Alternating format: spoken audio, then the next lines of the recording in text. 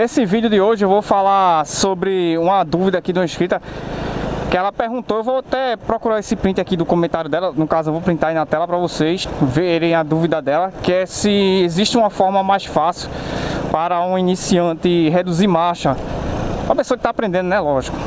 Existe sim, né, eu vou tentar simplificar aqui para vocês. Toda vez que eu for reduzir a marcha, né, lógico que dependendo da velocidade ela vai desse aqui, ó. Como é que você faz para isso não acontecer, turma? Pronto, aproveitando que esse sinal aqui ficou vermelho, né, fechou eu vou reduzir a marcha com, quando ela estiver prestes a parar, ó, quase parando, ó, não deu tranco, ó, quase parando, ó. Então, por que que ela dá tranco? Porque tem uma coisa chamada aqui freio motor. Quanto menor a marcha, né, no caso for reduzindo segunda, terceira, segunda, primeira, o freio motor ele vai ser mais forte, que é como se você estivesse pressionando o freio da moto. Por isso que quando você engata a primeira marcha e você vai tentar, des tentar descer a ladeira, ela faz um, baita barulho e você percebe que ela não pega o embalo. É por conta disso. Aí quando eu volto aqui, ó, vou voltar para a segunda, ó, ela dá um tranco, ó. Porque eu tava na terceira, o freio, o freio motor na terceira é de uma forma. E o freio motor na, na segunda marcha, na primeira, é outro. É por isso que acaba dando nesse tranco.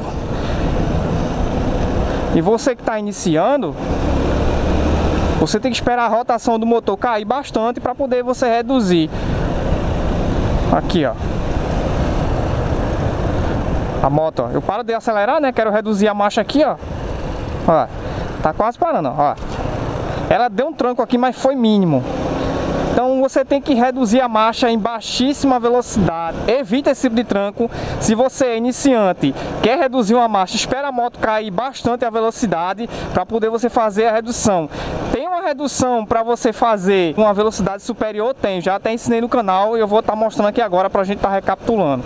Você que estiver chegando agora no canal, possivelmente não viu os vídeos sobre redução, mas vai estar tá aí a playlist no, nos cards ou então ao final desse vídeo. Para você reduzir a marcha dessa moto aqui é diferente. Você quiser reduzir uma velocidade significativa, o que é que você vai fazer? Você vai ter que dar uma bombada no acelerador. Quem é inscrito, inscrito aqui antiga aqui no canal já sabe. Você vai fazer o seguinte, ó. ó. Ao mesmo tempo que você for pisar para reduzir a marcha, aí você já faz isso. É ao mesmo tempo, certo? Quando pisar para reduzir aqui, Aí você vai usar o acelerador. Não precisa aceleração forte não, tu. É só uma bombada, uma leve bombada no acelerador. Aqui, ó. Olha.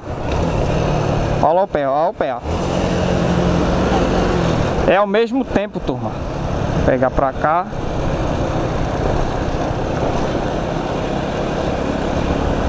Esse é, esse é o exemplo que você pode treinar também em baixíssima velocidade. Ah, não consigo dar essa bombada no acelerador. Aí o que é que você faz? Você treina em baixíssima velocidade. A moto quase parando aqui, ó. ó. Aí eu faço isso, ó. ó. Ela não dá o tranco, ó. Aí você vai treinando com o tempo, aperfeiçoando e fazendo isso em velocidades mais um pouco maiores, né? Mas como esse vídeo aqui se trata de pessoas para pessoas iniciantes, faça como eu disse no começo do vídeo. Toda vez que precisar de reduzir uma marcha, deixa a moto perder bastante velocidade para poder simplesmente você parar de acelerar aqui, ó. Parou, parou, deixa a moto perder velocidade, ó. Aí você pisa, né? Espera a moto cair a velocidade. Senão não vai dar certo, porque ela vai continuar dando aquele tranco. Vamos dar um exemplo aqui do sinal, ó. Fechou o sinal, ó. Tô prestes a parar o sinal, tô pisando no freio traseiro, ó. Ó, ó quase parando, ó. ó. Aqui, ó. Tá vendo? Não deu tranco. Aí finalizo com o neutro aqui da moto. Beleza? Você deixa para reduzir da segunda para a primeira, é um exemplo como eu mostrei ali agora, quando você estiver se aproximando do sinal, já quando a moto estiver bem perto de parar, turma o tranco é maior, você vai perceber que o tranco é maior da segunda para a primeira, que o freio do motor dessa bisa aqui, ele é, ele é bem forte. E tem que ser forte mesmo, né? E para quem não sabe para que serve o freio do motor, é para auxiliar na, na frenagem, né? Você estiver descendo uma serra aí, por exemplo, se você fosse descer a moto, de, descer só no neutro é, toda a força você ia, colocar, ia ser colocada para os freios, né? E para o freio motor fica melhor distribuído, levando em consideração é, a velocidade que você está pilotando, né? Vou fazer um vídeo só com isso, só com o falando sobre freio motor. E como eu falei, dependendo da marcha, da rotação, ela pode travar a roda, inclusive você pode até levar uma queda. E se você não sabe reduzir a marcha, não deixe para reduzir para reduzir tudo em cima, né? Frear em cima do quebra-mola. Já vou me adiantando, ó. Quebra-mola, cheguei já sem pouca velocidade, ó. Pisei, ó. Passei a marcha, tá vendo?